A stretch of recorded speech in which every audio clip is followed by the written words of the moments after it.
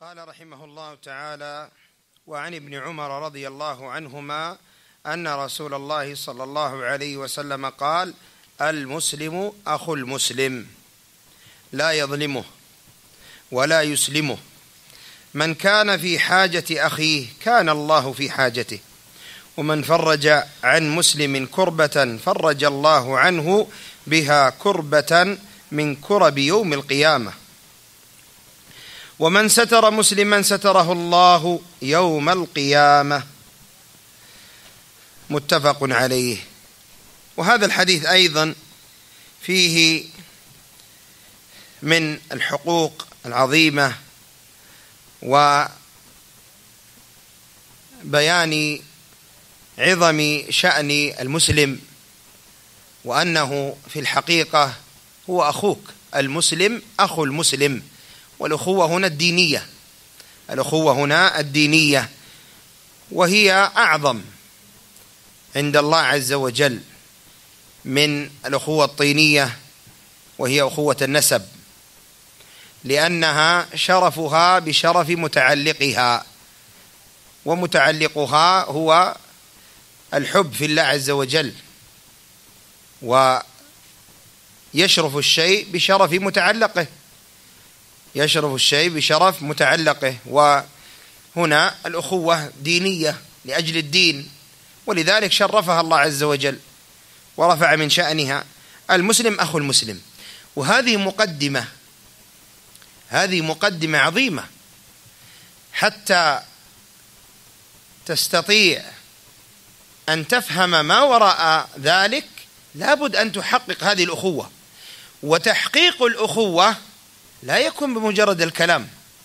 ولذلك انظروا الأحاديث التي جاء فيها ذكر الأخوة جاء فيها النهي عن ما ليست من الأخوة وأن الأخوة لابد فيها من عمل. الأخوة ليست مجرد كلام. ولذلك قال لا يظلمه لأن هذه تنافي الأخوة لا يسلمه هذه تنافي الأخوة وهكذا إلى آخر الحديث. إذا ما هي حقيقة الأخوة؟ هذا الذي ينبغي أن يعرف. حقيقة الأخوة في الله. بعض الناس إذا غاب أخوه عنه خلاص ذهبت المحبة.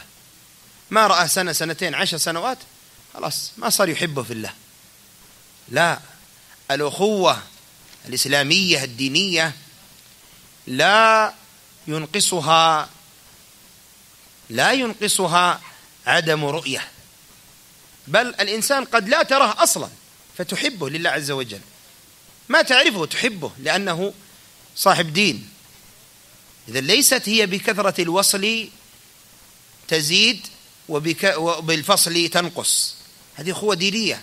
إذا كانت تزيد بالوصل وتنقص بالفصل فهذه ليست أخوة دينية. هذه ليست أخوة دينية. لا بد الإنسان أن يوطن نفسه أن المحبة الدينية لا تزيد بمجرد الإحسان. أحسن إليك تحبه. ليس الواصل بالمكافئ وإنما الواصل من إذا قطعه الناس وصلهم. إذن هذه حقيقة الوصل. كذلك حقيقة الأخوة. لو ما أحسن إليك الدهر يعني بمال أو بهدايا لا ينبغي أن أن أن أن يكون في قلبك إلا المحبة له. لأن الحب لله عز وجل. ما هي لأجل الهدايا ولا لأجل هذه الهدايا وغيرها. يعني لا شك أنها توثق المحبة وتدل على المحبة. فيها يستدل بها. لكن عدمها لا يستدل بعدمها عدم المحبة. تهادوا تحابوا حتى تنمى هذه المحبة وتصير يعني فيها ان يعني آه، آه، أن تكون آه، يعني وثيقة وأن تكون قوية. لكن ليس معنى ذلك أنه إذا ما أهداك لا تحبه. ليس معنى ذلك أنه إذا ما أحسن إليك ما تحبه. إنما تحبه لأجل دينه تحبه لأجل إسلامه تحبه لأجل تمسكه وهكذا. ولكن هناك أشياء لا شك أنها تدل على كثرة المحبة تدل على زيادة المحبة وتوثيقها ونماؤها مثل هذه الأمور. كما جاء في إفشاء السلام ألا أدلكم على شيء فعلتموه تحاببتم؟ أفشوا السلام بينكم. نعم. فإذا آه، في قول النبي صلى الله عليه وسلم المسلم أخو المسلم هذه مقدمة وهذه المقدمة ينبني عليها ما سيأتي ذكره لتعلم هل أنت حقيقة هذا المسلم أخوك أم أنك إما أنك تؤاخيه أو تعاديه. هذا ما سيأتي بيان الحقيقة. في هذا الحديث وفي باقي الأحاديث التي سيسردها المصنف رحمه الله تعالى. نعم.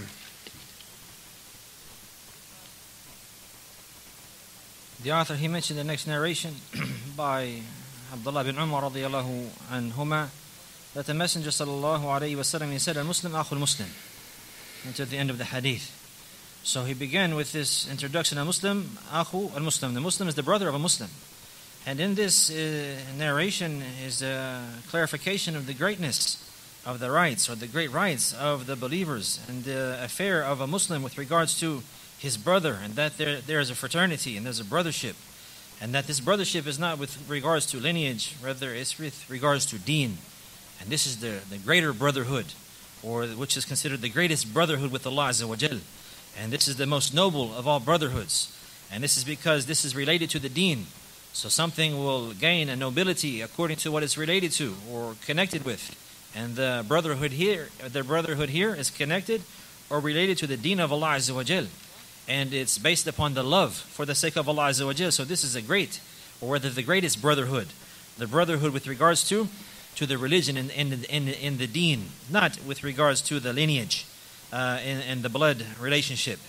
So the Prophet ﷺ, he said, Al-Muslim is the brother of a Muslim.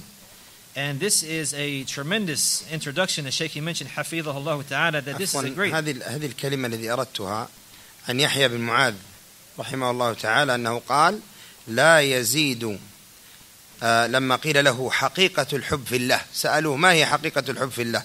قال ألا يزيد بالبر ولا ينقص بالجفاء. نعم. from Yahya bin Mu'adh uh, rahimahullah that he mentioned the reality of ذكر الحافظ بن حجر في فتح الباري.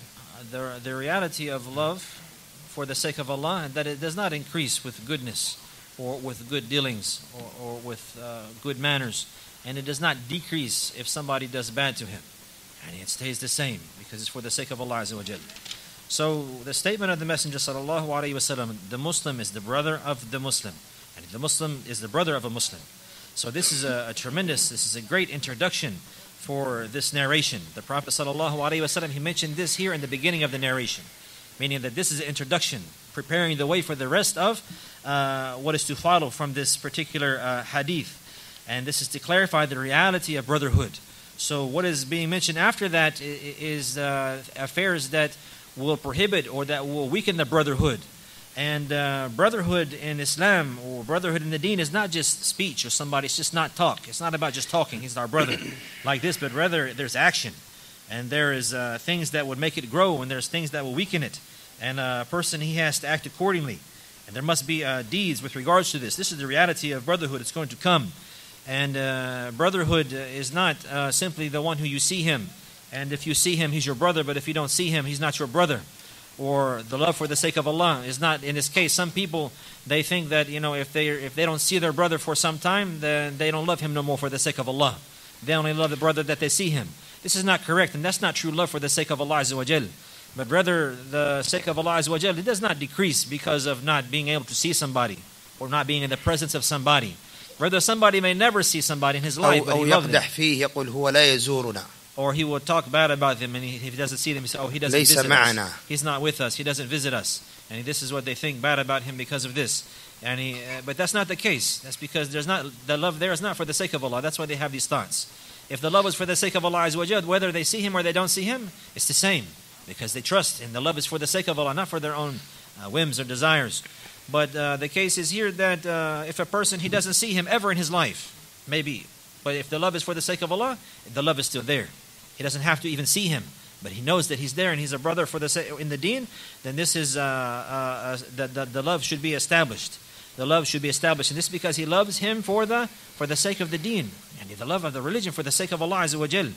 And uh, so, if somebody does good and he connects the ties with you, and he uh, he he um, respond or he uh, communicates with you, this doesn't increase the love if it's for the sake of Allah. Likewise, if a person he does not have contact with you, he doesn't talk to you a lot, or he doesn't see you all the time, or or the likes like this, this does not decrease the love. Likewise, this does not decrease the love. Likewise.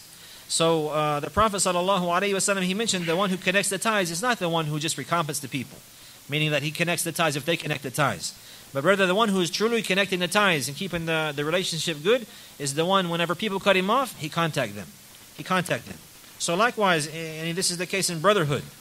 Brotherhood, it's not about if somebody doesn't see him, or he's not in, touch with him, or he doesn't contact him, but he loves him for the sake of Allah. The brother, the, the brotherhood is still strong, and it is still present. And uh, if somebody, uh, maybe for example, somebody will never do good to you, he will never give you a gift, for example, he will never be kind to you. That doesn't mean that he's not your brother. That doesn't mean, and that doesn't mean that there's no love for there for the sake of Allah. The fact that he does not give you a gift, or the fact that he doesn't contact you, that doesn't mean that he doesn't love you for the sake of Allah. No doubt about it that there are things that you know, are indication that the love of, the, of Allah is there. For example, giving gifts. And the Prophet sallallahu alaihi wasallam in a narration he said, "Give gifts." because this will uh, give gifts and it will make you uh, love each other and, and, the likes like this but uh, that's a sign that there's love. But just because if there's no gifts that's not a sign that there's no love.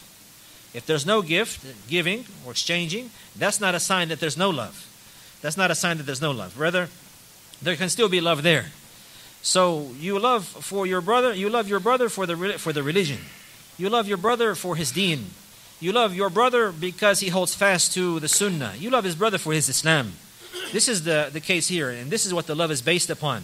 And there are things, no doubt, that could make the love grow or be stronger. Like, for example, the Prophet ﷺ, he said, uh, Give salam to each other and you will love each other. If you want to love each other, then give each other salam. And uh, so we see here that the Prophet ﷺ, he mentioned this introduction here. طرق للمحبة. يعني سبل وطرق there, there are ways to, to, to bring about love. There's ways to bring about and to grow or to cultivate love. There are ways for that, mentioned in the, by the Prophet sallallahu alaihi wasallam. But here in this narration, he began mentioning that a Muslim is the brother of a Muslim. This is a great uh, introduction, and based upon this, we will know the reality of brotherhood after this. And from, the, from that which is to come in the narration, based upon what will come, we will see the reality. Is he really our brother? Am I really his brother? Do I love him for the sake of Allah? The reality of brotherhood will come by the clarification after this particular introduction. The Muslim is the brother of a Muslim.